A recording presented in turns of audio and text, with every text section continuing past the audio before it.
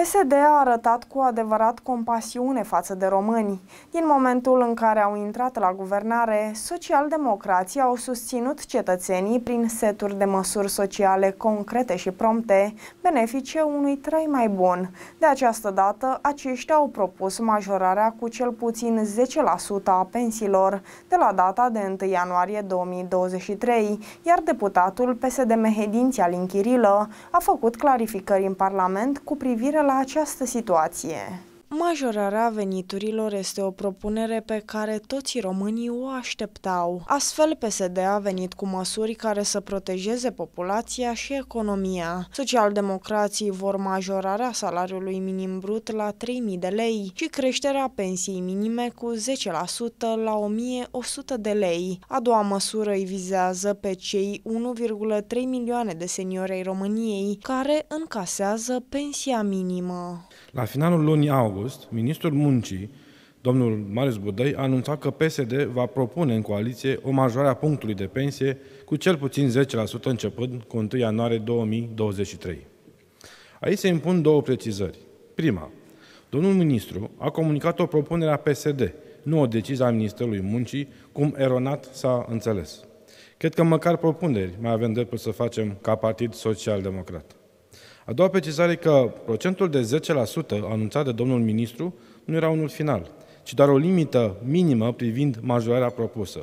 Evident că în funcție de gradul de colectare a contribuțiilor sociale, care va fi înregistrat până la momentul realizării proiectului de buget, pot interveni unele mici modificări. Însă, potrivit datorilor existente până la data anunțării acestui propuneri, din analizele făcute de grupurile de lucru din PSD, a rezultat cu un grad ridicat de certitudine că pensiile pot fi majorate cu cel puțin 10% de la 1 ianuarie 2023. Și mă refer aici atât la punctul de pensie, cât și la indemnizația de pensie minimă. Analiza noastră a fost cât se poate de serioasă. Am prezentat impactul, dar și surse de finanțare pentru această creștere.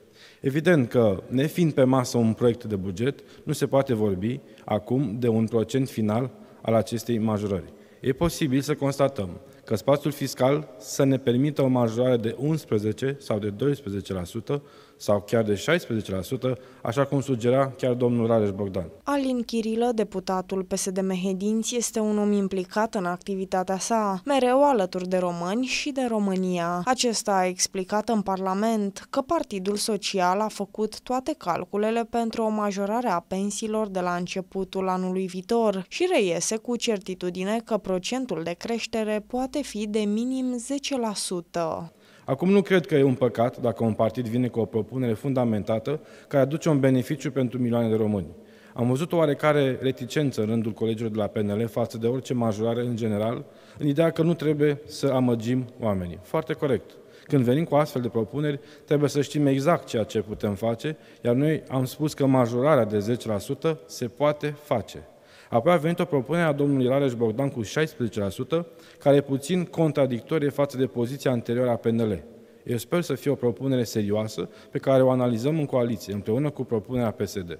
Și sper ca până atunci să existe o poziție clară din partea colegilor de la PNL sau măcar a liderilor PNL, respectiv o coerență între declarațiile primilor doi lideri, libera respectiv președintele și prin vicele președinte al partidului. Noi nu ne supărăm dacă cei de la PNL anunță că au propuneri pentru cetățeni. Foarte bine, dacă există astfel de propuneri și dacă ele sunt bune pentru oameni. Singura condiție este să fie propuneri serioase, să fie bine fundamentate, să fie susținute cel puțin la nivelul conducerei partidelor din coaliție sau chiar din opoziție. Analiza asupra majorărilor pensiilor realizată de miniștrii și specialiștii social-democrați a fost cât se poate de serioasă, cu prezentarea impactului bugetar, dar și a surselor de finanțare. PSD are pe fiecare sector propuneri și politici publice pe care le va prezenta și le va propune coaliției de guvernare, care să vină în sprijinul oamenilor.